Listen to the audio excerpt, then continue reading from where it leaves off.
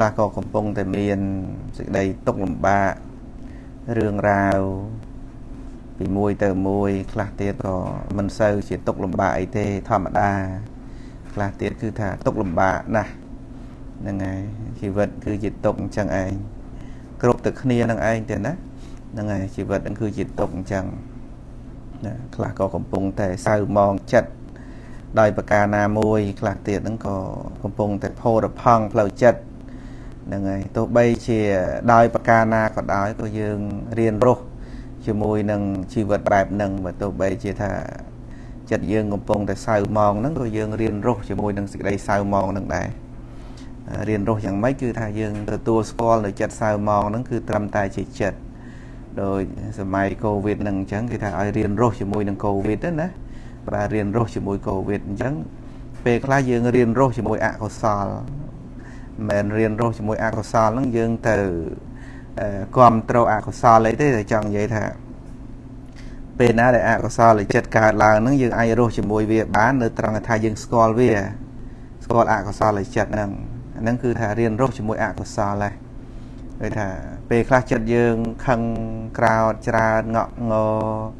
ស្អប់ខ្ពើមសៅមងអីអីចឹងទៅយើងវាសៅមងចិត្តអឺផ្ទាល់ខ្លួនយើងចឹងដែរណា យើងយើងសៅមងចិត្តដែរដល់យើងសៅមងចិត្តទៅយើងលំបាករស់ហ្នឹងហើយយើងលំបាករស់អញ្ចឹងវិធីដោះស្រាយជាមួយនឹងចិត្តដែលសៅមងចិត្តរួញរាចិត្តអឺធុញថប់ទុកលំបាកក្នុងខ្លួនហ្នឹងគឺមានតែមួយទេគឺការសិក្សានៅសតិប្បដ្ឋានវិបស្សនានឹងឯង ដតីដតីទៀតក៏ជួយដែរមិនមែនអត់ទេដូចថាទៀនសិលអីអីហ្នឹងក៏ជួយដែរប៉ុន្តែ យើងមិនមែនទៅអង្គុយទៅធ្វើទៀនបានគ្រប់តំងនោះឯណាហ្នឹងហើយយើងមិនមែនអង្គុយទៅធ្វើទៀនបានគ្រប់ពេលនោះទេអញ្ចឹងគឺថាមានតែសតិប្បដ្ឋាននេះឯងជាការងាយដូចថាងាយយ៉ាងម៉េចងាយត្រង់ថាចិត្តកើតឡើងកដាលយប់ក៏យើងអាចអប់រំចិត្តនឹងកដាលយប់ឧទាហរណ៍ចិត្តសៅមងទាំងយប់ទាំងថ្ងៃពេលណាទីកន្លែងណាដែល ឆ្ងាយពីគេដាច់ឡាយពីគេអីក៏ដោយក៏យើងអាចនឹងពិចារណាផ្លូវចិត្តនឹងបានណាពិចារណាផ្លូវចិត្តនឹងបានដោយមិនចាំបាច់ថាងដូចជាទៀនអញ្ចឹងយើងត្រូវទៅវត្តហ្នឹងហើយយើងត្រូវទៅរករបស់ហ្នឹងមកដើម្បីធ្វើទៀនអីចឹងទៅណាហ្នឹងហើយប៉ុន្តែដល់ទៅស្ថាបឋានបដិបត្តិសតិហ្នឹងគឺថា កើតនៅត្រង់ណាក៏បាន ទីកន្លែងណាក៏បានអត់អត់មានរឹសទីកន្លែងណាអត់មានរឹសទីកន្លែងទេគឺថា នៅទីកន្លែងណាក៏បានដែរអត់ចាំបាច់ថាចាំស្អែកចាំយើងរកទីកន្លែងឲ្យវាស្ងប់ស្ងាត់អីអីអត់ទេហ្នឹងហើយចិត្តអកុសលកើតនៅទីណាកុសលអាចកើតនៅទីនោះបានដែរហ្នឹងហើយអកុសលកើតនៅទីណា កុសលក៏កើតនៅទីនោះកុសលកើតក្នុងទីណាអកុសលក៏អាចកើតក្នុងទីនោះបានឧទាហរណ៍ថាយើងនៅផ្ទះកើតអកុសលចិត្តអញ្ចឹងកន្លែងដែលយើងកើតអកុសលចិត្តហ្នឹងនៅផ្ទះអញ្ចឹងក្នុងផ្ទះហ្នឹងក៏យើងអាចធ្វើឲ្យកើតទៅជាកុសលចិត្តបានដែរណានៅផ្ទះហ្នឹងណា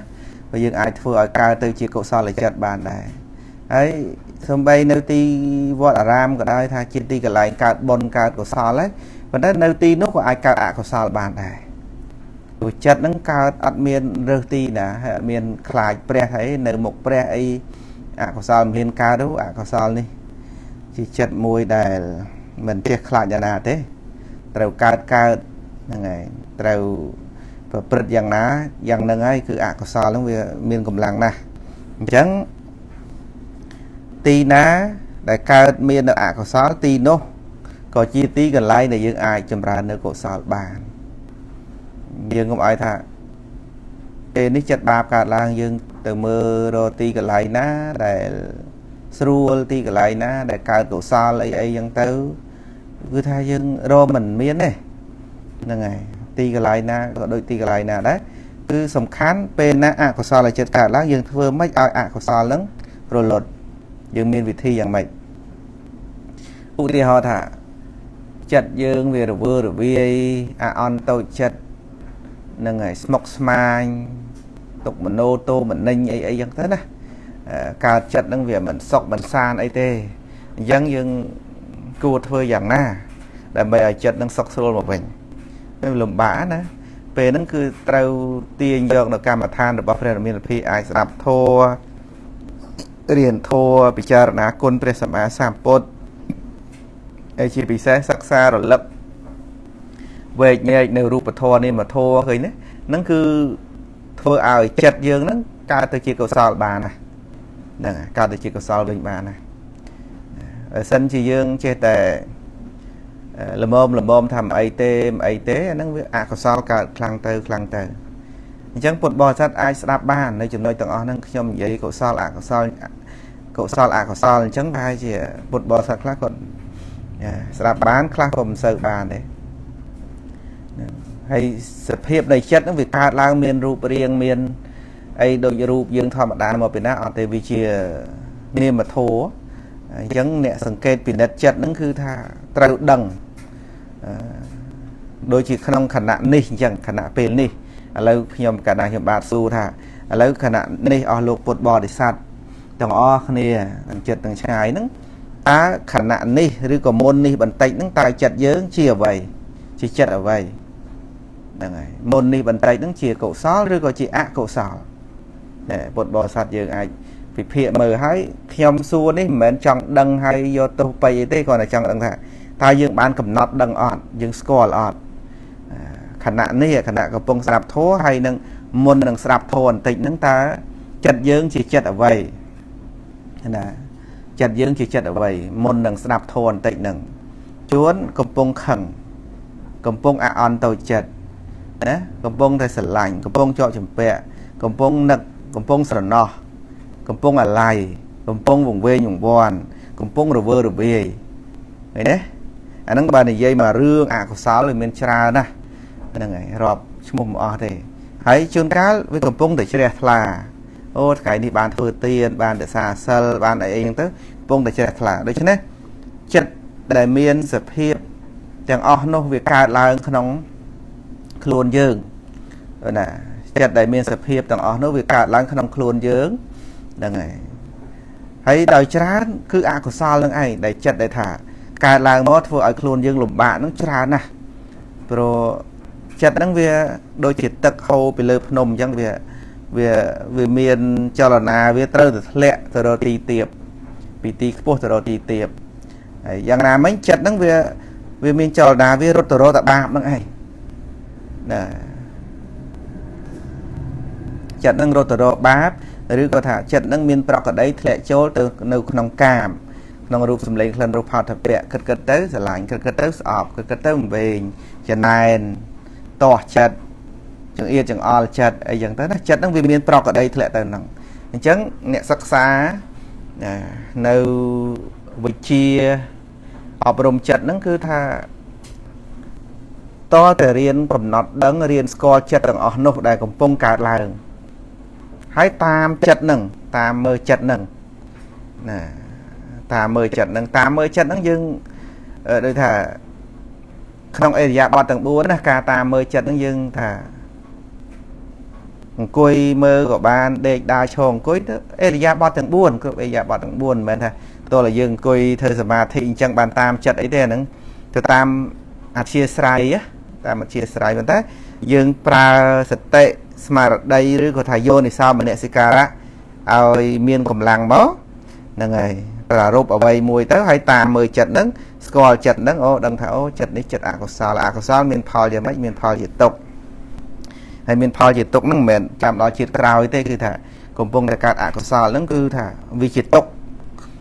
ពេលហ្នឹងតែម្ដងអត់មានចាំបាច់ដល់ជាតិក្រោយឆ្នាំក្រោយខែក្រោយអីទេគឺថា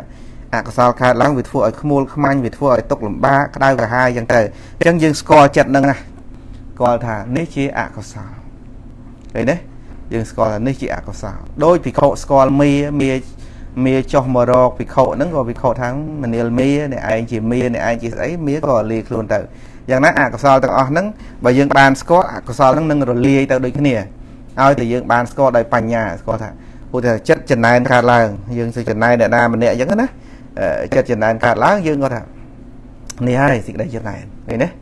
យើងដឹងយើងចុចសេចក្តីចំណែននឹងឲ្យចំក្បាលចំណែននឹងច្អល់ឲ្យចំថ្ងាសនឹងបាច់ថានេះហើយចំណែនឃើញទេ គឺ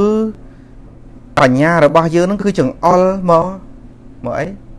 មកអកុសលហ្នឹងចង្អុលឲ្យចំបាច់ប៉ណ្ណឹងទៅ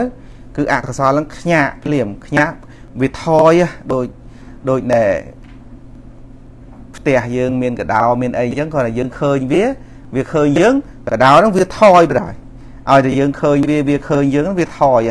ហ្នឹងហើយឲ្យតែវាដឹងថាអូយើងឃើញវាហើយកដោហ្នឹងវាវាវាបត់ក្បាលទៅវិញហ្មង អាហ្នឹងគឺថាសភាពហ្នឹងគឺអញ្ចឹងដូចចោលអីអញ្ចឹងដែរចោលចូលផ្ទះអីយើងបានឃើញពឹបចោលចាប់ដើមរកផ្លូវរត់មក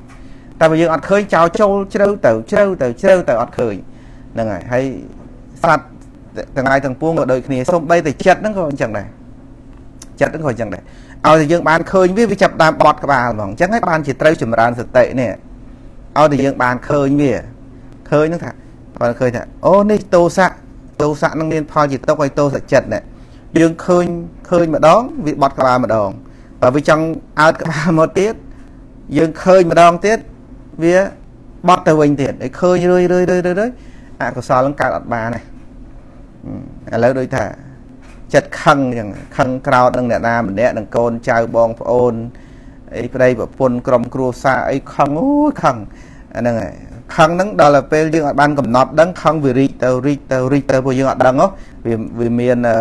ពេលវេលាវាមានសិទ្ធដើម្បីនឹងរីកចម្រើនណាដល់ទៅពេលយើងបានស្គាល់ស្គាល់ហ្នឹងពាក្យស្គាល់ហ្នឹងឯងដែលញាតិញោមពុទ្ធបរិស័ទតែងតែស្ដាប់ថាកំណត់ដឹងកំណត់ដឹងណាហ្នឹងហើយកំណត់ដឹងកំណត់ដឹងគឺស្គាល់ហ្នឹងឯងយើងស្គាល់ថាអូនេះចិត្តបាបចិត្តទោសៈ គ្រាន់តែយើងបានឃើញប៉ុណ្ណឹងទោសៈហ្នឹងវារួញវារួញតែម្ដងហ្នឹងឯងអញ្ចឹងហើយបានជាស្តបដ្ឋានហ្នឹងអស់ចាស្គាល់ទោសៈចិត្តហ្នឹងគឺត្រឹមតែជាចិត្តហ្នឹងណាហ្នឹងហើយស្គាល់ហ្នឹងហើយស្គាល់ថានេះជាទោសៈឥឡូវមិនចាំបាច់និយាយអីដល់ទៅការស្គាល់ចិត្តក្នុងចិត្តដោយចិត្តតានុបស្សនាសតិប្បដ្ឋានថ្នាក់វិបស្សនាឃើញចិត្តបរមត្តដោយបញ្ញាទេក៏ណារៀនឃើញចិត្តខឹងអញខឹងអញ ស្អប់អញស្រឡាញ់ឲ្យឃើញអញអញសិនហ្នឹងក៏មិនក៏មិនងាយឃើញដែរកុំថាឡើយដល់ឃើញដល់ចិត្តថានេះចិត្តខឹងនេះចិត្តស្អប់នេះចិត្តស្រឡាញ់ឃើញទេហ្នឹងហើយប៉ណ្ណឹងតែយើងឃើញជាបរមត្តហ្នឹងមិនងាយទេហ្នឹងហើយហើយសូម្បីតែឃើញថាមានខ្លួនឯងអ្នកខឹងអ្នកក្រោតហ្នឹងក៏មិនងាយឃើញដែរមិនងាយឃើញដែរព្រោះអីសពថ្ងៃហ្នឹងម្នាក់ម្នាក់រស់នៅដោយការអត់សតិ ទាំងយើងទាំងគេទាំងយើងទាំងគេគឺរស់នៅដោយការអត់សតិអត់សតិតែម្ដងអត់សតិណាហើយយើងថាអត់សតិអីមិនខ្ញុំមានសតិតា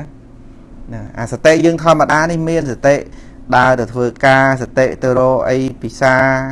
ទទួលទានអីចឹងទៅសតិដើរទៅនេះទៅនោះអានឹងសតិធម្មតា សូម្បីតែសត្វទេរិឆានក៏វាមានដែរវាដើរទៅនេះវាដើរទៅនោះវាឃើញគេវាជិះកិច្ចអីនឹងសត្វទេរិឆានក៏មានដែរអានឹងសតិថ្នាក់នឹងគឺថាជាជាចិត្តធម្មតាធម្មតាមិនបានរាប់បញ្ចូលជាសតិក្នុងកិច្ចបដិបត្តិទេណាមិនបានរាប់បញ្ចូលក្នុងសតិក្នុងកិច្ចបដិបត្តិទេដូចជាសតិយើងដាំបាយដាំទឹកស្លស្លុកមហូបអាហារអីចឹងទៅ ហើយបោកគុកខោអាវចឹងទៅបោកផ្ទះអីចឹងទៅអានឹងសិតតែសតិយើងថាមានសតិបើអត់សតិធ្វើមិនកើតហ្នឹងឯងប៉ុន្តែសតិហ្នឹងគឺថាជាចិត្តធម្មតាជួនកាលយើងធ្វើការងារទាំងខឹងក្រត់ក៏ធ្វើបានជួនកាលយើងធ្វើទាំងស្រឡាញ់ក៏ធ្វើបានយើងធ្វើទាំងវង្វេងខ្លះក៏ធ្វើបាន ការងារទាំងអស់ហ្នឹងប៉ុន្តែដល់ទៅសតិហ្នឹងគឺថាសតិហ្នឹងគឺសតិហ្នឹងគឺខុសអំពីសតិយើងធម្មតាសតិ ថ្នាក់កិច្ចបដិបត្តិណាខុសពីសតិធម្មតាយ៉ាងម៉េចសតិនៅធម្មតាធម្មតាដូចជាថាយើងធ្វើការងារអីនៅផ្ទះយើងបើកឡានយើងជិះម៉ូតូយើងដើរយើងអង្គុយយើងអីហ្នឹងអាហ្នឹងផ្លូវលោកធម្មតាហ្នឹងគឺថាហៅថាសតិដែរហើយបើអត់សតិធ្វើមិនកើតទេប៉ុន្តែសតិថ្នាក់សតិប្បដ្ឋានហ្នឹងខុសយ៉ាងម៉េចនឹងពុទ្ធបរិស័ទវែកញីកន្លែងហ្នឹងមើលស្ដាប់ហើយថាចុះសតិថ្នាក់សតិប្បដ្ឋានខុសពីអាសតិ ការងារនឹងយ៉ាងម៉េចសតិថ្នាក់សតិប្បដ្ឋានគឺសតិដែលរលឹកតន់លក្ខណៈសភាវៈដែលកំពុងតែមានក្នុងខណៈនោះឧទាហរណ៍ថា យើងកំពុងតែដើរកំពុងតែដើរហ្នឹងសតិថ្នាក់អឺសតិប្បដ្ឋានហ្នឹងស្រាប់តែឃើញការដើរហ្នឹងវាមិនមែនយើងអ្នកដើរហ្មងទេអត់មានយើងអ្នកដើរវាមានត្រឹមតែខ្យល់អ្នកជំរុញទៅឲ្យលើកជើងឈានជើង ឆ្វេងស្ដាមស្ដាំឆ្វេងអញ្ចឹងទៅ គឺថាលើកចុះលើកឡើងហ្នឹងគឺថាសតិថ្នាក់សតិប្បដ្ឋានហ្នឹងគឺឃើញធាតុខ្យល់ដែលកំពុងមាន កំពុងប្រកបឃើញទេគឺសតិថ្នាក់សតិប្បដ្ឋានវិបស្សនាគឺឃើញខ្យល់អត់មានឃើញសត្វឃើញបុគ្គលទេដូចយើងអឺឃើញឡានអីបើកបអញ្ចឹងទៅមកទៅមកអញ្ចឹងយើងអត់មានថាឡានហ្នឹងជាសត្វទេយើងឃើញម៉ូតូឃើញកង់ឃើញអី ហ្នឹងហើយឃើញយន្តហោះហោះអីទៅយើងអត់ថាយន្តហោះហ្នឹងគឺជាសត្វគ្រុឌអីអីអត់ទេគឺថាជាជាឧបករណ៍ដែលគេច្នៃបច្ចេកវិទ្យាដែលគេច្នៃហ្នឹងហើយសម័យទំនើបហ្នឹងយើងអត់មានថាអូឡាហ្នឹងគឺជាគោឡាហ្នឹងគឺជាតម្រៃឡាហ្នឹងគឺជាសេះអត់ទេយើងឃើញថាហ្នឹងវាមិនមែនជាសត្វគឺជាឧបករណ៍មួយយ៉ាងយ៉ាងណាមិញបាទយ៉ាងណាមិញនៅពេលដែល ឃើញកាយនេះឃើញកាយដែលកំពុងប្រព្រឹត្តទៅនេះឃើញកាយហ្នឹងគឺថាដូចជាឧបករណ៍ដែលពាក្យក្នុងសាសនាហ្នឹងគឺឲ្យពាក្យថាជាធាតអញ្ចឹងទៅថាជាធាតជាធាតមួយយ៉ាង ជារូបធាតជានាមធាតមួយយ៉ាងដែលប្រាសចាកសត្វបុគ្គលតួខ្លួនហ្នឹងអញ្ចឹងកំពុងដើរហ្នឹងគឺថាដើរហ្នឹងក៏ជាធាតកំរើកធាតកំរើកធាតខ្យល់កំរើកធា តខ្យល់កំរើកដោយសារអីដោយសារមានចិត្តហ្នឹងជាអ្នកឲ្យកំរើកហ្នឹងហើយចិត្តជាអ្នកឲ្យកំរើកធាតខ្យល់កំរើកចិត្តជាអ្នកឲ្យកំរើកចិត្តជាអ្នកបញ្ជាចិត្តតច្ចវាយោធាតហ្នឹងគឺធ្វើឲ្យរូបហ្នឹងកំរើកបានអញ្ចឹងក្នុងក្នុងកិច្ចបរិបត្តិរបស់ពុទ្ធបរិស័ទយើង យើងអាចបប្រតិបត្តិបាន ដឹងតែមួយជំហានដោយសតិហ្នឹងក៏ល្អណាស់ហើយ ដឹងតែមួយជំហានណាពុទ្ធបរិស័ទដឹងតែមួយជំហានឧទាហរណ៍ថាដើររាប់រយជំហានរាប់ពាន់ជំហានណាប៉ុន្តែដែលបានដឹងថាឈានហ្នឹងជាធាតកម្រើកអត់ដែលដឹងទេហ្នឹងហើយអញ្ចឹងមួយថ្ងៃមួយថ្ងៃមិនដឹងដើរទៅណាទៅណីខ្លះទេអញ្ចឹងដើរសិតតែអត់សតិភាគច្រើនអត់មានសតិហ្នឹងហើយលើកជើងឆ្វេងស្ដាំឆ្វេងស្ដាំនឹងញឹកញាប់ប៉ុន្តែអត់ដែលមានសតិដឹងទេហ្នឹងហើយអត់ដែលមានសតិដឹងសោះហ្នឹងហើយ កម្រមានថាពុទ្ធបរិស័ទខ្លះក៏មាន ដែរណាមិនមែនអត់ទេបាទសំទោសបាទពុទ្ធបរិស័ទខ្លះក៏មានសតិដែរតែចង់និយាយថាជាធម្មតាយើងគេនឹងភាកច្រើនគឺអត់សតិហ្មងដើរច្រើនតែអត់ដែលមានចាប់អារម្មណ៍អារឿងឈានជើងលើកជើងអីអត់ដែលដឹងថាអានឹងគឺជាធាតទេហើយធរហ្នឹងអត់មានទៅបដិបត្តិអស់លុយទៅទិញដូរពីណាទេគ្រាន់តែការបដិបត្តិគ្រាន់តែចិត្តស្គាល់ថានឹងជាធាតឬក៏នឹងជាខ្យល់អញ្ចឹងទៅ យើងហៅថាម៉េចក៏បានដែរឲ្យថាវាផុតពីខ្លួនយើងវាផុតពីអត្តាតួខ្លួនណាវាអត់មានយើងអ្នកដើរហ្នឹងហើយដូចយើងឃើញឧបករណ៍អីមួយឡានម៉ូតូយន្តហោះទូកក្នុងទឹកអីចឹងទៅគឺថាវាវាជាឧបករណ៍មួយចឹងទៅដែលគេច្នៃមកអញ្ចឹងអញ្ចឹងរូបកាយនេះជាដូចជាឧបករណ៍ជាធាតុមួយយ៉ាងនៃការពីកម្មណាជាធាតុមួយដែលកើតពីកម្មរចនាតតែងឡើងឲ្យរូបកាយហ្នឹងគឺថាកម្រើក ទៅនេះទៅនោះកម្រើកទៅឆ្វេងទៅស្ដាំបានហ្នឹងគឺថា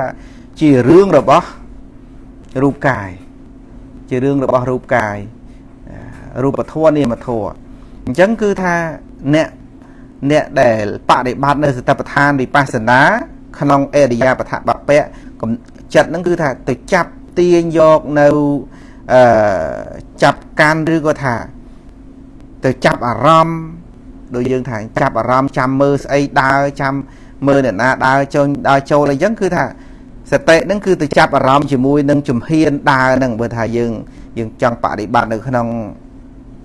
នៅក្នុងអេរិយាបថបពៈនៅក្នុងអេរិយាបថហ្នឹងគឺថាចិត្តហ្នឹងទៅចាប់អារម្មណ៍ឈានជើងមួយចំហៀនមួយចំហៀនលើកដៃលើកជើងអីហ្នឹងគឺថាចិត្តហ្នឹងវាទាញសតិហ្នឹងទាញមកឲ្យវាមូលនៅក្នុងកាយចិត្តហ្នឹងមូលមក ហ្នឹងហើយមូលមកបើថាអត់ឈានទេអង្គុយក៏លើកដៃទៅហើយបើថាអង្គុយហើយងាកទៅដឹងងាកឆ្វេងដឹងងាកស្ដាំដឹងហើយដឹងហ្នឹងមិនមែន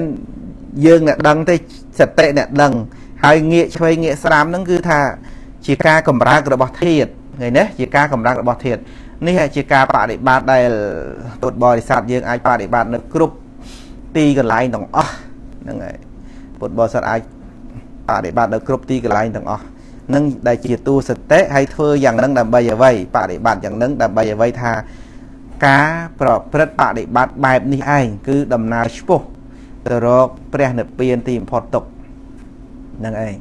ទីបំផុតទុកហើយរាល់ការងារទាំងអស់ដែលពុទ្ធបរិស័ទធ្វើហ្នឹងធ្វើបានតាធ្វើបានសំបីតែកំពុងបើកបររថយន្តកំពុងអឺផ្ដាំស្លកំពុងធ្វើកិច្ចការងារអ្វីអ្វីទាំងអស់សតិអាច កើតឡើងហើយកំណត់ដឹងចាប់កាន់ស្អីស្អីមួយអញ្ចឹងទៅគឺថាសតិកើតឡើងគឺឃើញត្រឹមតែជាធាតអ្នកធ្វើណាធាតអ្នកកម្រើកធាតអ្នកធ្វើចលនាគឺអត់មានថាងកំពុងតែបើកបររថយន្តស្រាប់ថាចម្រើនសតិអញ្ចឹងមិនភ្លេចភ្លាំងស្មារតីទៅបើកខុសផ្លូវអីអីណាទៅបុកគេបុកឯងថាមែនទេអាហ្នឹងអាហ្នឹងមិនមែនទេព្រោះធម្មតាការមានសតិគឺអត់មានធ្វើឲ្យ លំបាកដល់អ្នកដតីឬក៏គ្រោះថ្នាក់អីទេដូចជាថាពេលខ្លះយើងកំពុងតែដើរផងយើងខឹងផងបានដែរឃើញទេកំពុងតែដើរផងកំពុងសបាយផងណាដើរផងសបាយផងដើរផងខឹងផងបើកឡានបដាខឹងគេបដាឃើញទេហ្នឹងហើយអញ្ចឹងវាអត់តាក់តងអីគ្នាដូចដូច្នេះការដែលធ្វើកិច្ចការងារនោះនោះវាអាចលាយទៅជាមួយនឹងណាអឺវាអាចលាយទៅជាមួយនឹងសតិ អាចលាយទៅជាមួយសតិដែលអត់មានអឺផលប៉ះពាល់អីដល់ការងារនឹងថាំងធ្វើការបង្កើតដាំបាយបង្កើតណាងូតទឹកបង្កើតអីបង្កើតអត់ទេធ្វើអ្វីអ្វីបានទាំងអស់ធ្វើអ្វីអ្វីបានទាំងអស់ឲ្យទៅនៅក្នុងរឿងកុសល ដែលជាការងារសុចរិតហ្នឹងគឺថាជាហេតុនៃសតិអពុសតិស្តបឋានកើតហេតុពីរយ៉ាងគឺថាដោយសិលហើយនឹងមានតថេយល់ត្រង់នឹងឯង ហ្នឹងហើយសិលមួយនិងតថេយល់ត្រង់មួយពីរហ្នឹងឯងអញ្ចឹងការងារដែលជាដែលជាកុសល ការងារដែលជាកុសលហ្នឹងគឺសតិអាចធ្វើអាចកើតឡើងបានកុំឲ្យថាងចេញដំណើរទៅរកសម្លាប់សត្វទៅរកអីឲ្យសតិកើតឡើងដែរអាហ្នឹងមិនមែនសតិទេអាហ្នឹងសតិអត់កើតឡើងទេព្រោះជារឿងអកុសលនឹងសតិអត់កើតឡើងជាដាច់ខាតព្រោះថាយើងថាកំណត់ដឹងនៅសតិក្នុងការធ្វើដំណើរទៅសម្លាប់គេ ឬក៏កំពុងសម្លាប់សត្វកំពុងទះមូសអឺអានេះគ្រាន់តែជាធាតណាកំពុងតែវាយគេម្ដាយនេះគ្រាន់តែជាធាតអានឹងមិនមែនទេអានេះគ្រាន់តែជាការគិតប៉ុណ្ណោះមិនមែនជាទូសតិទេព្រោះសតិក្នុងសតិប្បដ្ឋាននេះគឺថាត្រូវមានសិលត្រូវមានទិដ្ឋិយល់ត្រង់ហើយបើថាអត់មានសិលអត់មានទិដ្ឋិយល់ត្រង់ទេ គឺថាគ្រាន់តែជាការគិតទេមិនមែនជាទូសតិទេអញ្ចឹងអញ្ចឹងបានខ្ញុំបញ្ជាក់ឡើងថា ឧទាហរណ៍ថាបើសិនជាយើងអឺកំណត់ដឹងនៅសតិក្នុងខណៈសម្រាប់មូសសម្រាប់អីហ្នឹងអាហ្នឹងវាមិនមែនមិនមែនតួសតិទេណាយើងកំណត់ដឹងថាអូអានេះគ្រាន់តែជាធាតទេសត្វនេះគ្រាន់តែជាធាតទេយើងសម្លាប់វាទៅគ្រាន់តែជាធាតទេអាហ្នឹងគឺថាទ្រុសិលហើយ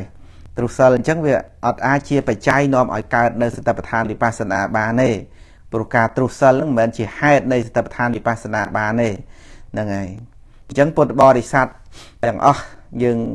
យើងអាចសាករៀនអនុវត្តណាមិនចាំបាច់ទៅទិញដូរពីណាហ្នឹងហើយក្នុងការងារហ្នឹងណាយើងអត់ចាំបាច់ទៅទិញដូរពីណាទេរឿងការងារយើងនេះគឺថាត្រូវវឹកហាត់ដោយខ្លួនឯងហើយយើងថាំងយើងរៀនអត់គ្រូយើងមិនហ៊ានធ្វើអត់គ្រូទេចុះពុទ្ធិកាទាំងអស់ហ្នឹងឯងជាគ្រូរបស់យើងនោះយើងទៅរកគ្រូឯណាទៀត ហ្នឹងហើយអានមើលទៅក្នុងបេដកអត្ថកថាអីហ្នឹងយើងថាំងយើងមិនហ៊ានបប្រតិបត្តិទេខ្លាចអត់មានគ្រូមានគ្រូអីទេសំខាន់យើងយល់ឲ្យដូចយើងដើរសប្ងាយអញ្ចឹងហ្នឹងហើយដើរសប្ងាយយើងចាំបាច់មានគ្រូបរៀនដើរដែរយើងគាត់ចេះដើរអត់ហើយហ្នឹងយើងអត់ចាំបាច់មានគ្រូបរៀនដើរអីទៀតទេអញ្ចឹងគ្រាន់តែយើងចេះតែដើរតែយើងអត់ចេះដឹងថាដើរនឹងជាស្អីយើងចេះតែដើរណាតែអត់យើងដឹងថាដើរនឹងជាស្អី អញ្ចឹងក្នុងការចងចិត្តក៏ដូចជាការអប់រំចិត្តពុទ្ធបរិស័ទយើងទាំងអស់គ្នាអាចចងចិត្តអាចអប់រំចិត្តតាមរយៈនៃការបដិបត្តិក្នុងសតិប្បដ្ឋាន ទាំង4ណាមួយតាមអធិស្រ័យហ្នឹងហើយតាមអធិស្រ័យតាមកម្លាំងបញ្ញាអញ្ចឹងទៅហ្នឹងហើយណាមួយក៏បានដែរចង់កំណត់ដឹងវេទនាក៏បានកំណត់ដឹងកាយក៏បានណាមួយប្រកបមក ផ្លូវណាគឺផ្លូវហ្នឹងយើងយើងយើងចេះទាំងអស់យើងចេះទាំងអស់យើងស្គាល់ទាំងអស់យើងបានស្ដាប់ធម៌ច្រើនទៅចង់វេទនាប្រកបក៏ដឹងវេទនាហ្នឹងហើយវេទនាថាអង្គុយអង្គុយទៅចុករួយហ่าស្គាល់នេះជាវេទនាឃើញទេហ្នឹងហើយហើយលើកដៃលើកជើងឈានជើងអីហ្នឹងធាតកម្រើកធាតកម្រើកគឺខ្យល់ហ្នឹងកើនពីចិត្ត តែពេលដែលកំណត់ដឹងអត់មានទៅនិយាយវែងឆ្ងាយអីទេគ្រាន់តែមកដឹងក្រឹបដឹងអស់លីងដឹងដោយសារការបានស្ដាប់បានរៀនធ្វើយោនិសោមនសិការៈមកហើយនឹងវាជំនួយឲ្យកិច្ចបដិបត្តិហ្នឹងទៅមុខបណ្ដោយណាណាអឺចង់ដឹងចិត្តក៏បានចិត្តខឹងអូស្គាល់នេះចិត្តខឹងអូនេះចិត្តស្រឡាញ់នេះចិត្តអឺវង្វេងឃើញទេនេះកុសលនេះអកុសលឃើញទេហ្នឹងហើយអាហ្នឹងគឺថា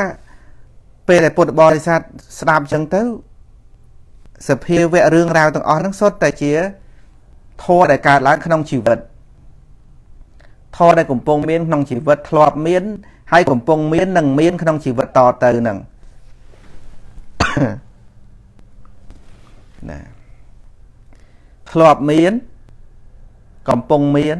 ហើយនឹងនឹងមានបន្តទៀតណានឹងមានបន្តទៀតធัวទាំងអស់ហ្នឹងអត់មានអីអត់ទេ ចិត្តក៏មានក្នុងជីវិតរាល់ថ្ងៃយើងចង់កំណត់ចិត្តក៏បានមានញាតិញោមខ្លះគាត់ថាសភាវៈវាមានច្រើនអញ្ចឹងឲ្យខ្ញុំកំណត់ណាមួយដឹងណាមួយថាណាមួយក៏បានដែរណាមួយក៏បានដែរអត់មានថាត្រូវទាំងដឹងម្ដងទាំង4ទាំង5អីនោះទេណាពុទ្ធបរិស័ទកំណត់ដឹងណាមួយក៏បានឧទាហរណ៍ថាអារម្មណ៍របស់តបឋានមាន4កាយ វេទនាចិត្តធម៌នឹងដោយសង្ខេបហើយដល់កាយមានចន្ទភេទវេទនាមានចន្ទភេទចិត្តមានចន្ទភេទធម៌មានចន្ទភេទអញ្ចឹងទៅប៉ុន្តែដោយសង្ខេបថាអារម្មណ៍4ហ្នឹងស្តបឋានហ្នឹងណាស្តបឋានវិបស្សនាស្តបឋានអារម្មណ៍4ហ្នឹងអញ្ចឹងសួរថាមួយណាថាមួយណាក៏បានដែរប៉ុន្តែបើសម្រាប់អឺលោកអ្នកបដិបត្តិហ្នឹងឧទាហរណ៍ជួបនៅរឿងណាមួយប្រកបជាងគេ ឧទាហរណ៍ថា កំណត់កាយកាយកាយដឹងតែស្គាល់កាយឈានអីហ្នឹងស្រាប់តែដៃយើងទៅរលាកទឹកក្តៅហ្នឹងហើយឬក៏ថា កាយយើងពាល់ត្រូវនៅរបស់ណាមួយដែលជាអនិច្ចារម្មណ៍ខ្លាំងពេកវាក្តៅច្រឡោតអីអីចឹងទៅស្រាប់តែសតិនឹងរលឹកឃើញនៅវេទនាវិញអាចដូរពីអារម្មណ៍ដែលជាដែលជាកាយានុបស្សនាស្ថាន វាអូតូម៉ាទិកទៅជាវេទនានុបស្សនាស្ថានវិញឃើញទេដូចឡានអញ្ចឹងឡានចង់បត់ឆ្វេងក៏បានបត់ស្ដាំក៏បានចង់ទៅមុខក៏បានអាយ៉ែថយក្រោយក៏បានឡានគេធ្វើអញ្ចឹងណាអញ្ចឹងអ្នកបដិបត្តិហ្នឹងគឺថាមិនមិនតល់ថាទេតល់តែកាយតល់ដង្ហើមបានអញកំណត់ដឹងក្រៅពីដង្ហើមអត់ដឹងអត់ទេណាមួយក៏អាចទៅបានដែរឲ្យតែនៅឆ្លាតណាមួយក៏បានដែរចង់ណែ ផ្លូវកាយផ្លូវកាយផ្លូវចិត្តផ្លូវចិត្តឯចិត្តឯងខ្មួលខ្មាញ់អីខ្លាំងពេកកំណត់ចិត្តនឹងបានទៀត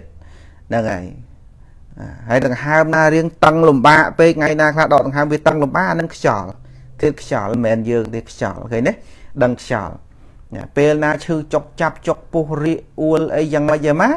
អូទុក្ខវេទនាកើតឡើងប្រកបចេញដំណើរអត់មានអីទាំងអស់ឈឺស្កាត់អីអត់មានទេអាចកំណត់ដឹងនៅកាយឈានជើង មួយជំហានមួយជំហានមួយជំហានហ្នឹងគឺកាយឃើញទេពេលណាខ្លះចិត្តជាកុសលកើតឡើងជ្រះថ្លាស្ដាប់ធម៌រៀនធម៌ចិត្តជាកុសលកើតឡើងណាគឺកំណត់ដឹងនៅចិត្តអាហ្នឹងនិយាយពីពីសតិប្បដ្ឋាន4ហើយវេទនាសញ្ញាវេទនាហើយនឹងធម៌មីហ្នឹងក៏ដូចគ្នាអញ្ចឹងដែរណាធម៌មាននុបស្សនាសតិប្បដ្ឋានអាចចូលទៅដល់ការ ឃើញរូបឮសំឡេងដឹងក្លិនដឹងរសដឹងផោថពៈ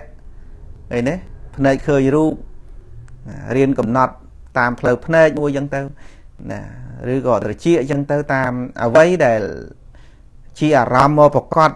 ធំធំច្បាស់ច្បាស់ប្រកបដែលងាយងាយដឹងងាយងាយយល់ណាហ្នឹងហើយឧទាហរណ៍ថាពេលខ្លះរឿងរ៉ាវហ្នឹងវាមិនប្រកបធំដុំអីតាមផ្លូវភ្នែកអីពេកទេ ប៉ុន្តែវាមកប្រកបតាមផ្លូវត្រជាដែលគេជាម៉ាំងម៉ាំងនេះវាច្បាស់ពេកនេះអញ្ចឹងយើងថាខ្ញុំមិនកំណត់ទេផ្លូវតិចខ្ញុំកំណត់តែផ្លូវភ្នែកអត់កើតទេគឺអាមួយណាដែលមកប្រកាសមួយនឹងហើយយើងចាប់មួយនឹងមកហ្នឹងហើយចាប់មួយនឹងមួយណាក៏បានដែរដូចថាយើងមានផ្ទះមិនឲ្យកដោវាមកចូលអុកលុកអីកដោមួយណាក៏បានដែរឲ្យតែមកដឹងតែដេញទាំងអស់ ហ្នឹងហើយកលាតមួយណាក៏បានដែរអត់រើសកលាតទេកលាតមួយណាកដោមួយណាចោមួយណាតែមកនឹងគឺថាអត់រើសថាចោអាវខៀវយើងចោអាវលឿងចូលបានអត់ទេចោអាវស្អីក៏ដោយចោស្រីចោប្រុសណាក៏ដោយគឺថាមកគឺថាយើងដឹងយើងកំចាត់បានទាំងអស់យ៉ាងណាមិញអារម្មណ៍ទាំងឡាយទាំងពួងហ្នឹងគឺថាណាក៏បានណាមួយក៏បានអត់បញ្ហាអីទេអញ្ចឹងបានជាត្រូវរៀនសិក្សាពីនេះពីនោះពីនេះពីនោះដើម្បីឲ្យចេះ ដូចយើងចេះក្បាច់គុណអញ្ចឹងណាចេះក្បាច់គុណអញ្ចឹងណាចេះក្បាច់គុណហ្នឹងក្បាច់ទ្វា8ទ្វា9គេនោះគេថាចង់អាណាវាយពីចំហៀងក៏ចេះណាវាយពីស្ដាំពីឆ្វេងពីមុខពីក្រោយពីលើពីក្រោមឯមិនគឺថាគេចេះក្បាច់គុណហ្នឹងគេខ្លាំងណាស់ទ្វា8បុកតោទ្វា8ក្បាច់បុរាណហ្នឹងគឺគេចេះគ្រប់សពពីទិសទាំង8ហ្នឹងគឺថាអូណាចូលមិនចោះទេហ្នឹងគ្រាន់តែឧបមាទេណាយ៉ាងណាមិញសតិប្បដ្ឋានវិបស្សនាហ្នឹង គឺនៅពេលដែលធ្លាប់អប់រំសតិអប់រំបញ្ញាធ្លាប់ស្ដាប់យល់ទៅ តាមផ្លូវកាយអារម្មណ៍តាមផ្លូវកាយមកពលត្រូវ តាមផ្លូវអឺចិត្តឬក៏វេទនាឬក៏ធម៌មួយណា ដែលមកប្រកបគឺមួយហ្នឹងចាប់មកកំណត់ដឹង ចាប់មកកំណត់ដឹងចង់និយាយថា គឺស្គាល់តែម្ដងវេទនាកើតឡើងស្គាល់វេទនា ហ្នឹងហើយបើថានៅសុកសុកពេលខ្លះវេទនាល្អិតពេកយើងលំបាកកំណត់ដឹងអាផ្សេងដតីពីវេទនានោះដូចជាចិត្តដូចជាធម៌ដូចជាកាយអីអីហ្នឹងវាមានក្រោតគ្រៀតអីដែលងាយកំណត់ដឹងនោះក៏តាមនឹងអញ្ចឹងទៅហ្នឹងហើយអញ្ចឹងរឿងនេះគឺតកតងទៅលើសមត្ថភាពរបស់អ្នកបដិបត្តិណាសមត្ថភាពអ្នកបដិបត្តិហើយអត់មានរើសអារម្មណ៍ថាចាំតែអាណាបាចាំតែកំណត់ខ្យល់ទេអញ្ចឹង ឧទាហរណ៍ចិត្តខឹងកើតឡើងយើងយើងទៅកំណត់ខ្យល់ខំប្រឹងកំណត់ខ្យល់ដើម្បីកម្ចាត់ចិត្តខឹងនឹង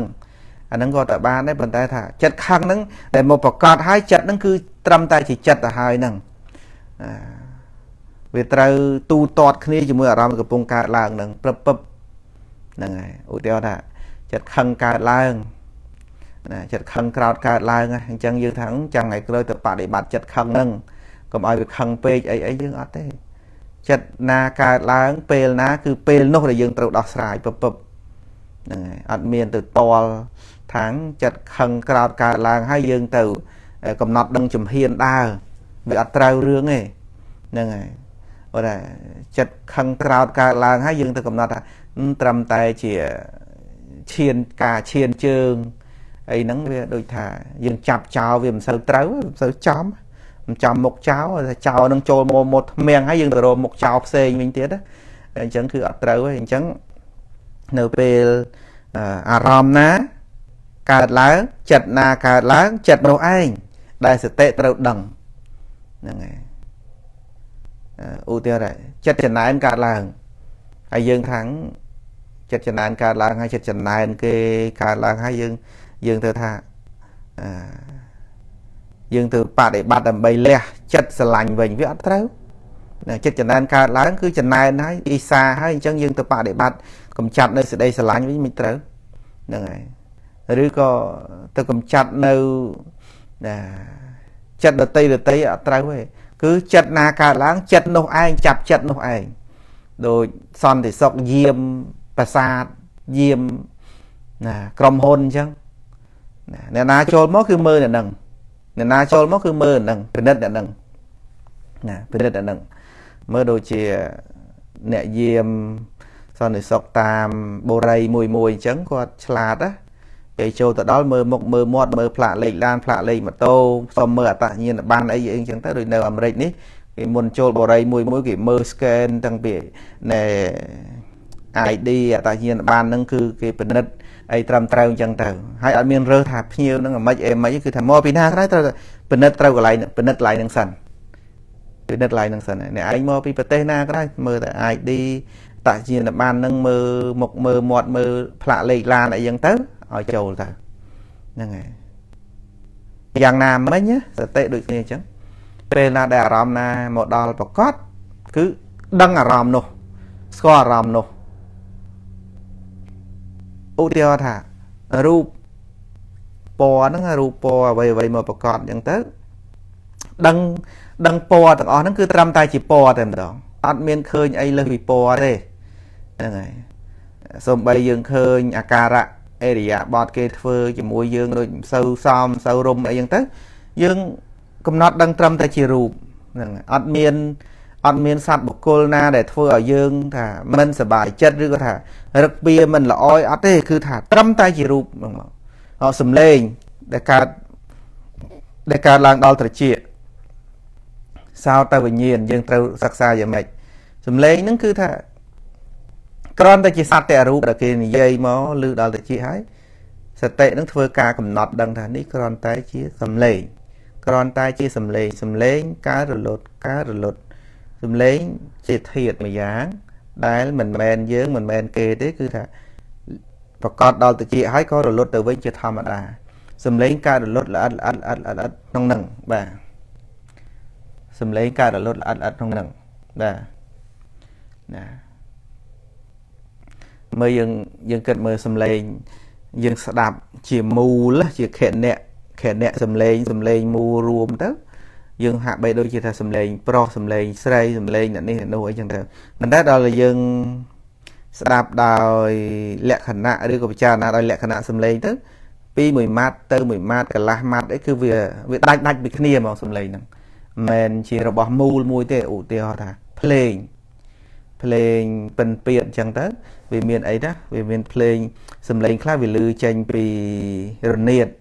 សំឡេងខ្លះលឺពីគង ហ្នឹងហើយខ្លះពីត្រែផ្លុំហ្នឹងហ្នឹងហើយហើយពីស្គរពីឈើងពីអីចឹងទៅហ្នឹងហើយអញ្ចឹងអឺសំឡេងទាំងអស់ហ្នឹងវាផ្សេងផ្សេងផ្សេងគ្នាទេវាដាច់ដាច់ពីគ្នាទាំងអស់សំឡេងទាំងអស់ហ្នឹងប៉ុន្តែវាផ្គុំឮក្នុងពេលតែមួយទៅស្រាប់តែទៅជាភ្លេងហ្នឹងវាដូចជាមានឈ្មោះមានអីចឹងណាតែការពិតសំឡេង កងផ្សេងស្គរផ្សេងខ្លុយត្រែអីណាណីផ្សេងផ្សេងគ្នាទាំងអស់ហើយវាដាច់ដាច់ពីគ្នាដល់ទៅពេលវាលេងវាចេញដំណើរគ្នាទៅវាដូចជាសាច់បត់តែមួយបត់ចឹងទៅហ្នឹងហើយក៏បញ្ញត្តិថាអូអានេះប៉ិនពៀតអាបត់ខ្មែរបុរាណអីចឹងទៅប៉ុន្តែសំឡេងនឹងវាចេញពីនេះចេញពីនោះវាផ្គុំចូលគ្នាហើយសំឡេងទាំងអស់ហ្នឹងសូម្បីតែមិនចូលគ្នាវាចូលគ្នាប៉ុណ្ណឹងហើយហ្នឹងណាមិនមែន មិនមែនជាសំឡេងតែមួយទេសំឡេងច្រើនណាស់សំឡេងច្រើនមែនទែនក្នុងហ្នឹងសំឡេងច្រើនមែនទែនវាចូលក្នុងតែមួយហ្នឹងក៏សូម្បីថាលឺក្នុងពេលជាមួយគ្នាហ្នឹងក៏សំឡេងហ្នឹងគឺដតីដតីដតីពីគ្នា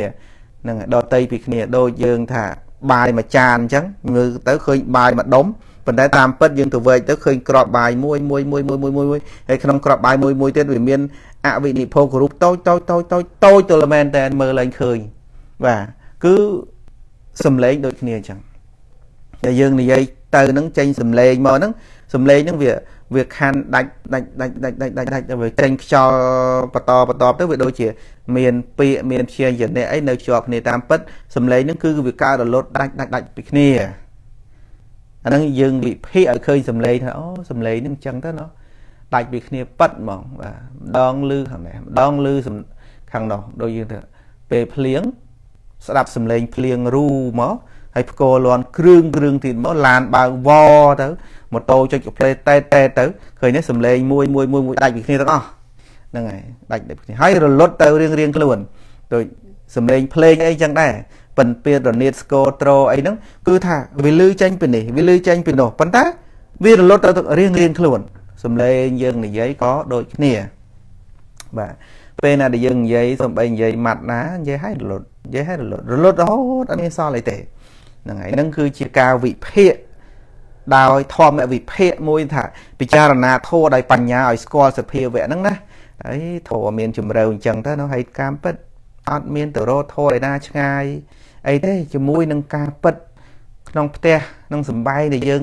រស់នៅសប្ងៃនឹងឯងគឺជាធម៌ដែលយើងត្រូវអប់រំជាធម៌ដែលយើងត្រូវស្គាល់ហ្នឹងពុទ្ធបរិស័ទខ្លះថា ឥឡូវនេះមិនតន់ទៅរកធោអាយណាទេធោអត់មានទៅរកឯណាឆ្ងាយទេរឿងទៅឆ្ងាយទៅណេះទៅនោះហ្នឹងអាហ្នឹងរឿងយើងគិតថាធោវានៅឆ្ងាយតាមពិតកិច្ចបដិបត្តិធម៌គឺនៅក្នុងចិត្តនេះឯងនៅតាណាក៏បានបដិបត្តិបានឧទាហរណ៍ថាក្នុងខណៈនេះពុទ្ធបរិស័ទកំពុងស្ដាប់មានសំឡេងទេមានសំឡេងកំពុងប្រកបទេបាទសំឡេងដែលកំពុងលឺហ្នឹងឯងកំពុងលឺខ្ញុំនិយាយហ្នឹងថាខ្ញុំនិយាយឬក៏ ជាសំឡេងដែលកំពុងមានឃើញទេហើយយើងពិចារណាទៅយើងថាមិនមែនសំឡេងរបស់អ្នកណាទេគ្រាន់តែជាសំឡេងដែលកើតឡើងហើយរលត់មិនមែនសំឡេងរបស់ខ្ញុំទេសំឡេងវាចេញឡើងពីខ្យល់ក្នុងពោះបុកមកពងកអំពងកយ៉ាងមកចេញតាមមាត់ក្រអូមមាត់គោលធ្គាមពីដានលើអីយ៉ាងទៅហើយនឹងរុនច្រមុះមកវាចេញសំឡេងមកហើយវារលត់ទៅហ្នឹងហើយ មិនមែនជាសត្វមិនជាបុគ្គលទេ ដូចជាសំឡេងឫស្សីគូតគ្នាសំឡេងកង់ឡានបើកតាមផ្លូវអញ្ចឹងយើងគិតថាជាសំឡេង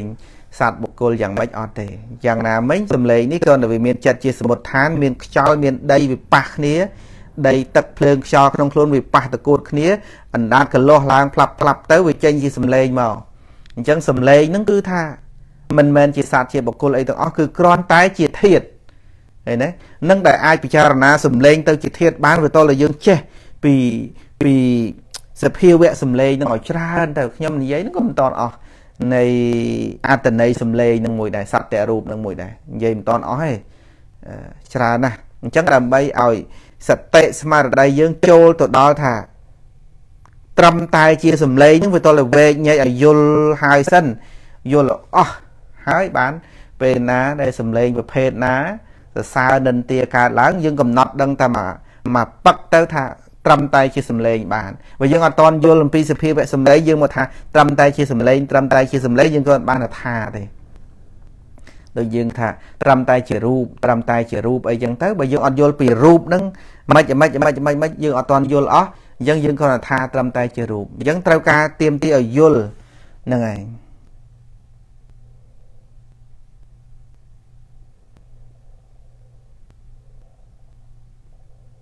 បាទអញ្ចឹងត្រឹមតែជាសំឡេង ត្រឹមតែជារូបត្រឹមតែជាក្លិនត្រឹមតែជារសអីអីទាំងអស់ហ្នឹងផោតថាពៈចិត្តអីទាំងអស់ត្រឹមតែហ្នឹងគឺថាតលតែយើងយល់តលតែយើងយល់សិនបានកំណត់អាត្រឹមតែនឹងបានព្រោះរឿងត្រឹមតែហ្នឹងវាជាបញ្ញាមួយដែលកំណត់ស្រេចកំណត់ដោយថាសម្រេចយកណាតែមុននឹងសម្រេចយកវាត្រូវស្រាវជ្រាវឲ្យដឹងឲ្យដឹង ដោយតុលាការមុនកាត់ក្តីសម្រេចថាខាងណាឈ្នះរបស់អ្នកណាផ្ទះនឹងរបស់ណាដីនឹងរបស់ណាពិតប្រាកដតុលាការនឹងគេចេញមុនចេញសាលក្រមឲ្យឈ្នះឲ្យចាញ់ហ្នឹងគឺថាគេទៅសង្កេតពិនិត្យមើលដីធ្លីថាជារបស់អ្នកណាពិតប្រាកដរបស់ម្ដាយរបស់កូនរបស់លោកយាយលោកតាណាមួយ គឺតុលាការគេចេញស្រាវជ្រាវណាស្រាវជ្រាវពិនិត្យមើលនៅវត្ថុនោះជារបស់អ្នកណាពិតប្រាកដ អញ្ចឹងគេមានភ័ស្តុតាងប្រមូលឯកសារមកអស់ហើយបានគេសន្មតថានេះដីនេះជារបស់លោកតានេះទេមិនមែនជារបស់អ្នកនោះទេណ៎ឃើញទេតុលាការគេកំណត់សម្រេចឲ្យប៉ុន្តែមុននឹងសម្រេចឲ្យចុងក្រោយថាជារបស់អ្នកណាពិតប្រាកដគឺគេស្រាវជ្រាវមើលការពិតទាំងអស់វាមានរឿងហេតុមកពីណាទៅណាដីនឹងវាយ៉ាងម៉េចម៉េចម៉េចហ្នឹងហ្នឹងនិយាយរឿងដីមួយអញ្ចឹងទៅចោះយ៉ាងណាមិញ គ្រាន់តែថាដើម្បីស្គាល់រូបនោះត្រឹមតែជារូបមួយម៉ាត់ហ្នឹងណាគឺវាត្រូវស្រាវជ្រាវដំបងហ្នឹងគឺថាមិនក៏ព្រះអង្គសំដែងថាត្រឹមតែជារូបត្រឹមតែជាសម្លេងត្រឹមតែជាក្លិនយ៉ាងម៉េចទៅណោះហ្នឹងហើយអញ្ចឹងគឺត្រូវការសិក្សាវែកញែកទទួលស្គាល់នៅ របស់ទាំងអស់នោះដោយបញ្ញាសិនណារៀនឲ្យយល់ដឹងសិនបានអនុវត្តបានដោយ អ្នកនិយាយភាសាអង់គ្លេសអីនៅស្រុកនេះអញ្ចឹងគេនិយាយប្រាវនិយាយនិយាយអត់មានប្របាយទេពុទ្ធបរិស័ទខ្មែរយើងនៅស្រុកនេះចង់និយាយអីនិយាយរោទៅហ្មងរូទៅហើយអត់មានគិតអីទេឬខ្ញុំមួយម៉ាត់ពីរម៉ាត់ចង់និយាយទៅគិតអញ្ចឹងណាព្រោះយើងអត់ដែលបានរៀនស្ទាត់ដោយពួកគាត់ដល់អញ្ចឹងទៅពួកគាត់នៅស្ទាត់គឺដាក់ចេញរូចេញរូប៉ុន្តែសួរថា ដែលនិយាយរូរូរូហ្នឹងបានហ្នឹងចេះឯងមិនថាអត់ទេគាត់រៀនហើយគាត់បានរៀនហើយទៅអារូហ្នឹងវាចេញរួចតែបើមិនបានរៀនទេអត់ចេញរូទេអញ្ចឹងរៀនរៀនរៀនរៀនរៀនទល់តែចេញរូមកអញ្ចឹងហ្នឹងហើយបាទហ្នឹងកិច្ចការងារក្នុងស្ដេចប្រធានបដិបត្តិដូចគ្នាអញ្ចឹងទង្រាំនឹងថាកំណត់ដឹងថានេះជាចិត្តត្រឹមតែជាចិត្តប៉ុណ្ណឹងគឺថាត្រូវសិក្សាអំពីសភាវៈចិត្តហ្នឹងយ៉ាងម៉េច ចិត្តនឹងជាស្អីទៅចិត្តនឹងជាសត្វជាបុគ្គលយ៉ាងម៉េចបើមើលមិនឃើញប៉ះមិនត្រូវចាំបានផងហើយជាជាសត្វជាបុគ្គលយ៉ាងម៉េចយើងត្រូវស្គាល់ចិត្តយ៉ាងម៉េចយើងថាអូចិត្តនេះជានាមធម៌មួយយ៉ាងដែលចាំតែដឹងអារម្មណ៍ចាំតែដឹងអារម្មណ៍ហើយក៏រលត់ទៅវិញជាធម្មតាឃើញទេជានាមធម៌គ្មានរូបគ្មានរាងអីទាំងអស់នៅខ្លួននឹងសូម្បីតែយើងខ្លួនឯងមិនដឹងថាចិត្តនឹងនៅតាណាឲ្យពិតប្រកបហ្នឹងក៏តើយើងបានសិក្សាធម៌ទេមិនដឹងថា អូព្រះអង្គសំដែងថាចិត្តនឹងនៅក្នុងបេះដូងអីអីចឹងទៅណាហ្នឹងហើយវាអត់បានសិក្សាធម៌អ្នកខ្លះថាចិត្តនៅខួរក្បាលអ្នកខ្លះថាចិត្តនៅទៅនេះនៅទៅនោះហើយវាមានខ្លះដែរដូចកាយវិញ្ញាណអីវានៅពេញមកខ្លួនហ្នឹងហ្នឹងហើយប៉ុន្តែគាត់ថាចិត្តអីទាំងអស់យើងគឺថាចិត្តយើងនៅណានៅនៅខួរក្បាលឬក៏នៅតាណាអីអីចឹងទៅណាបាទតាមពិតដល់ពេលសិក្សាធម៌ទៅចិត្តនៅបេះដូងដ៏ច្រើនហ្នឹងនៅអាស្រ័យនឹងហតិយវត្ថុគឺបេះដូងហ្នឹង ណាអញ្ចឹងទៅយើងសិក្សាពីចិត្តនឹងឲ្យច្រើនទៅបានដឹងថាអូអានេះជាចិត្តហើយចិត្តនឹងមើលមិនឃើញប៉ះមិនត្រូវចាប់មិនបានហើយចិត្តនឹងដែលអត្ថគិតកើរលត់កើរលត់ណាកើរលត់កើរលត់ចិត្តនឹងគិតម្ដងយ៉ាងនេះគិតម្ដងយ៉ាងនោះប្រែប្រួលចិត្តនឹងខ្ញុំថាចិត្តគេប្រែប្រួលចិត្តឯងនឹងក៏ប្រែប្រួលណាស់ដែរនោះណាប្រែដែរនោះចេះថាគេនឹងប្រែខ្លួនឯងកំពូលប្រែ ប្រែលើសគេផងចិត្តនឹងហើយប្រែដូចតែគ្នាទេគ្មានណាជាងណាទេចិត្តនឹងគឺប្រែប្រែណាអញ្ចឹងចិត្តនឹងដែលអត្ថគិតដែលអត្ថអនត្តាឃើញទេអញ្ចឹងទៅសិក្សាពីសភាវៈចិត្តនឹងរហូតដល់ទទួលស្គាល់ថាអូចិត្តនេះមិនទៀងជាតិទុកហើយមិនមែនជាសត្វបុគ្គលទេគឺជាអនត្តា ស្គាល់ចិត្តនឹងជាអនត្តាទទួលស្គាល់អញ្ចឹងដល់ទៅការបដិបត្តិនៅក្នុងចិត្តតានុបស្សនាទៅឋានស្រាប់តែ កសោបអត្តន័យចិត្តចិត្តណាកើតឡើងគឺត្រឹមតែជាចិត្តយ៉ាងតែម្ដងចិត្តណាក៏ដោយក៏ចិត្តដែរចិត្តហ្នឹងរលត់ទៅវិញជាធម្មតាឃើញទេគឺកសោបអត្តន័យនៅក្នុងពាក្យថាចិត្តនឹងបាន គឺថាចាប់អត្តន័យចិត្តនឹងបានដល់យើងធ្លាប់បានរៀនស្គាល់អីហើយអស់នោះគាត់ថាចិត្តណាកើតឡើងកំណត់ដឹងចិត្តនោះដោយបញ្ញាតែម្ដងអត់មានទៅដោយថាយើងទៅទន្ទិញទៅថាអីទៀតទេគឺថា យើងធ្លាប់ស្ដាប់ធ្លាប់រៀនធ្លាប់ពិចារណាហើយត្រឹមតែជាចិត្តហ្នឹងគឺវាក្តោបយកពាក្យថាចិត្តហ្នឹងមួយម៉ាត់គឺយល់នៃទាំងអស់ហ្នឹងបដ ாய் ថាមិនមែនយើងនឹងបដ ாய் ឧទាហរណ៍ថាស្គាល់កាយនេះពិតដោយបញ្ញាហើយហើយយើងធ្លាប់ស្ដាប់ថាកាយនេះជាមហាភូតរូប4ដីទឹកភ្លើងខ្យល់កើតអំពីកម្មកើតអំពីចិត្តកើតអំពីឧតោកើតអំពីអាហារយើងយល់ពីកាយនឹងអស់ហើយដល់ទៅការកំណត់ដឹងអត់មានទៅវែកញែកវែងឆ្ងាយអីចឹងទៀតទេ ការស្គាល់ហ្នឹងគឺថាកាយហ្នឹងគឺជាធាតមួយរូបហ្នឹងជារូបធាតហ្នឹងឯងចឹងតើឃើញទេនឹងឯងជាតួសតិដែលកើតឡើងហ្នឹងគឺលឿនរហ័សក្នុងការកំណត់ដឹងណាសតិហ្នឹងធ្វើកិច្ចលឿនរហ័សក្នុងការកំណត់ដឹងទៀតលឿនណាស់មិនមិនយូរទេណាមកព្រឹបលឿនជាងផ្ទាត់កញ្ចក់ទៀតអញ្ចឹងបានថាណានៅពេលដែលព្រះអរិយបុគ្គលលោកសម្រេចនៅ នៅធัวលោកសម្រេចធัวជាព្រះសោតាបណ្ណបុគ្គលជាព្រះសកតិគាមីអនាគាមីហ្នឹងគឺថាមកក្រឹកថាលឿនជាងផ្ទាត់កញ្ចក់ទៀតសម្រាប់ជាព្រះអរហន្តមកព្រឹបធ្វើកិច្ចប្រហារកិលេសអីអីហើយអស់លឿននៅចិត្តនឹងវាលឿនកើតឡើងព្រឹបព្រឹបឃើញភ្លាមសតិដែលធ្លាប់បានសិក្សាអប់រំហ្នឹងគាត់ថាគាត់ថាកំណត់ដឹងនៅរូបឃើញរូបហ្នឹងមិនមែនជាយើងតែម្ដងគឺ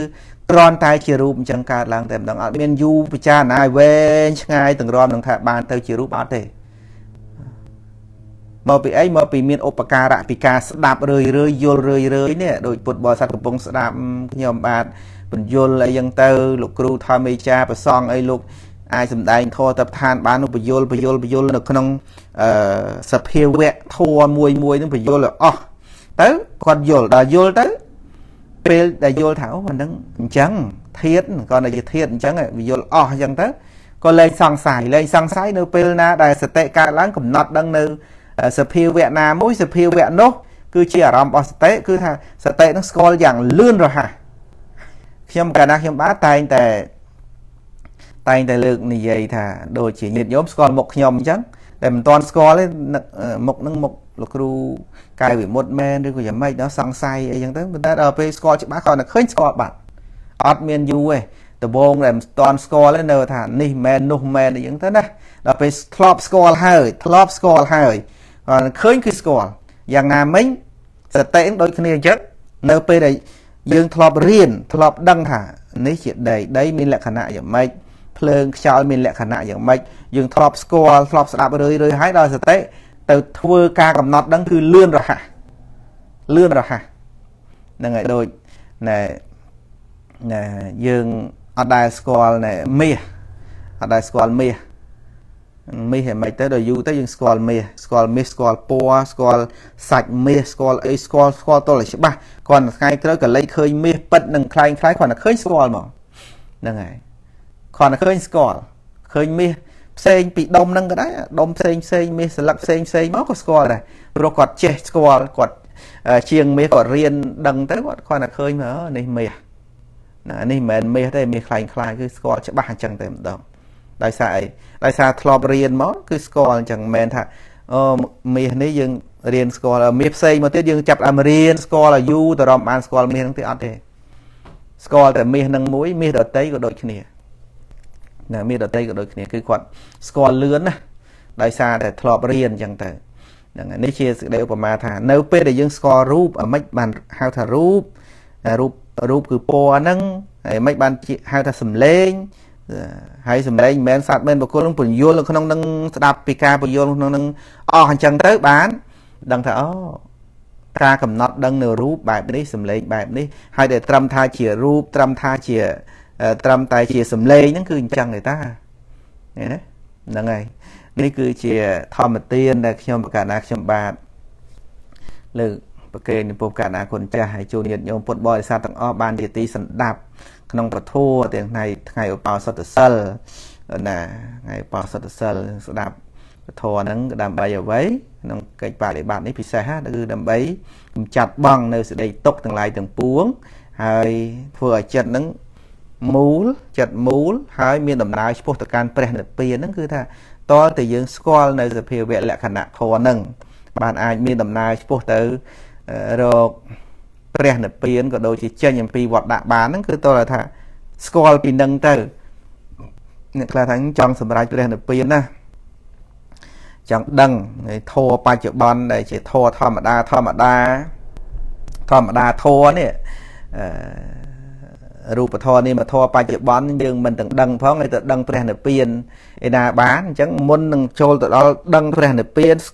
មានព្រះនិព្វានមកជាអារម្មណ៍ហ្នឹងព្រះអង្គសម្ដែងថាត្រូវតែរៀនស្គាល់អារម្មណ៍បច្ចុប្បន្នហ្នឹងអារម្មណ៍បច្ចុប្បន្នគឺរូបធម៌នាមធម៌ហ្នឹងដោយអនត្តានុបស្សនាញាណហ្នឹងរឿយរឿយរឿយរឿយសិនទៅឈានចូលឃើញនៅព្រះនិព្វានបានអញ្ចឹងជាជាថ្នាក់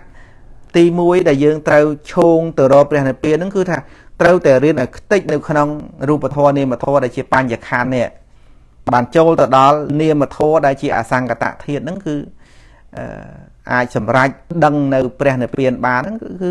ចាប់ផ្ដើមពីការស្គាល់បញ្ញខណ្ឌនឹងសិនស្គាល់រូបស្គាល់នាមនឹងសិនហ្នឹងហើយមិនមែនទៅឈោងវាប់មកទៅចាប់អាខ្ពស់សិនអត់ទេខ្ពស់ខ្លះយើងត្រូវប្រាយដា ដាក់យដាដាក់យដាដូចផ្លែឈើអីផ្លែត្រឡប់ផ្លែប៉មសុកនេះគេដាក់យដាឡើងបេះហ្នឹងហើយមិនទៅឈោងប៉ាប់មកទៅបេះអាកពូលប៉មមុនអត់បេះបានទេព្រោះអត់មានអីឡើងយ៉ាងណាមិញព្រះនិព្វានដូចគ្នាអញ្ចឹងមុននឹងឈោងកាន់ចាប់ព្រះនិព្វានថាអញ្ចឹងចឹងណានឹងថាកាន់ចាប់មានព្រះនិព្វានមកជាអារម្មណ៍បានហ្នឹងតលតែយើងនេះដាក់យដាសិនដាក់យដាគឺអីគឺការស្គាល់កាយស្គាល់វេទនាស្គាល់ចិត្តស្គាល់ធម៌ ស្គាល់ភ្នែកត្រចៀកជ្រមុះហណ្ដាតកាយរូបសម្លេងក្លិនរសផលតពៈធម្មអារម្មណ៍ទោះស្គាល់ទាំងសិននឹងដូចដាក់យដាទៅអញ្ចឹងហ្នឹងហើយហ្នឹងឯងដែលថាដំណើរទៅព្រះនិព្វានដើម្បីបានសម្រេចនៅព្រះនិព្វានគឺយើងស្គាល់សភាវៈដែលជាសង្កតៈហ្នឹងឲ្យអស់ណាជាទុកណាជាសមុទ្រយៈហ្នឹងឲ្យស្គាល់ឲ្យច្រើនអញ្ចឹងទៅងាយនឹងកំណត់ដឹងងាយស្គាល់គឺនេះហើយជាដំណើរឆ្ពោះទៅព្រះនិព្វានណាព្រះនិព្វាន ជាជាធម៌ដែលផុតអំពីបញ្ញខណ្ឌហើយនឹងផុតអំពីសេចក្តីទុកទាំងឡាយទាំងពួងហើយបើយើងនៅក្នុងទុកយើងអត់ស្គាល់ទុកទៅរកព្រះនិព្វានយ៉ាងម៉េចបានណាព្រះនិព្វានចេញពីទុកហើយបើយើងនៅជាប់នឹងទុកมันអាចចេញទៅព្រះនិព្វានបានទេអញ្ចឹងមានតែការសិក្សាអប់រំរឿយរឿយដាក់យដើម្ដងមកកាមម្ដងមកកាមម្ដងម្ដុំម្ដងម្ដុំមកយើងកោអត់ឲ្យខ្ពស់អញ្ចឹងណាដាក់បន្តិចបន្តិចបន្តិចបន្តិចទៅខ្ពស់ហើយខ្ពស់ទៅគឺថាអាចចាប់យកអ្វីអ្វីដែលយើងចង់ចាប់បានដែរយ៉ាងណា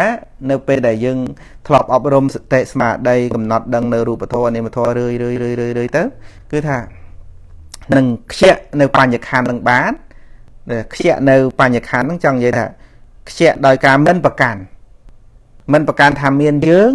មានគេមានគេមានយើងទេ គឺរបស់ទាំងអស់នេះគឺជាធាតឃើញណារបស់ទាំងអស់នេះគឺជាធាត គឺជារូបធម៌នាមធម៌ត្រង់នឹងឯងដែលថាយើងមានដំណើរឆ្ពោះទៅដើម្បីចាប់យកនៅលោកកតរៈធម៌ហើយមិនមែនទៅបដិបត្តិភ្លាមទៅឈោងយកលោកកតរៈភ្លាមបានទេយើងត្រូវតែអប់រំពីលោកយៈនេះណាពីលោកយៈនេះគឺអប់រំអីគឺអប់រំសតិសតិដឹងអីសតិដឹងធម៌បច្ចុប្បន្ននឹងឯង